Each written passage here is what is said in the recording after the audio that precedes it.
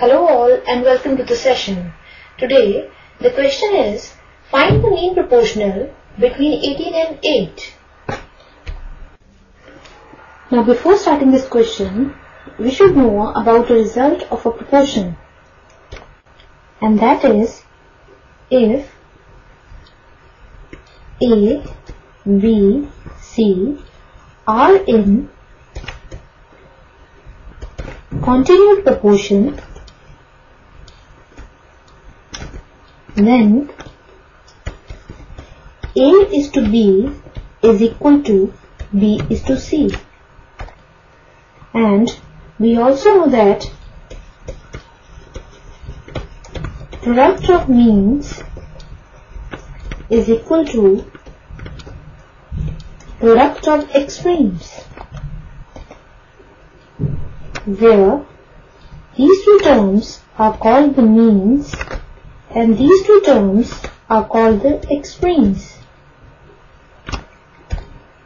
Therefore, product of means will be b into b that is b square is equal to product of extreme that is a into c.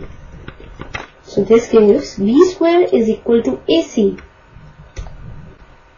This implies b is equal to square root of ac.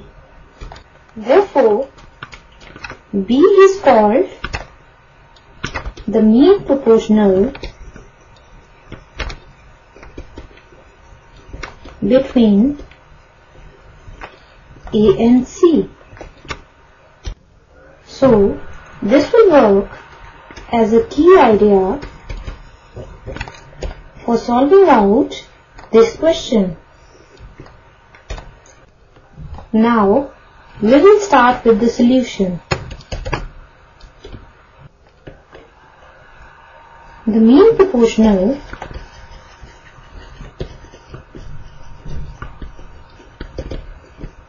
between 18 and 8 according to the formula which is given in the key idea will be equal to square root of 18 into 8 which is equal to square root of 18 into 8 is 144 which is equal to 12 as the square root of 144 is 12.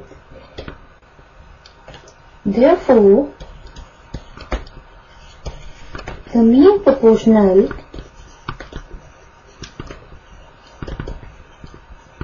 between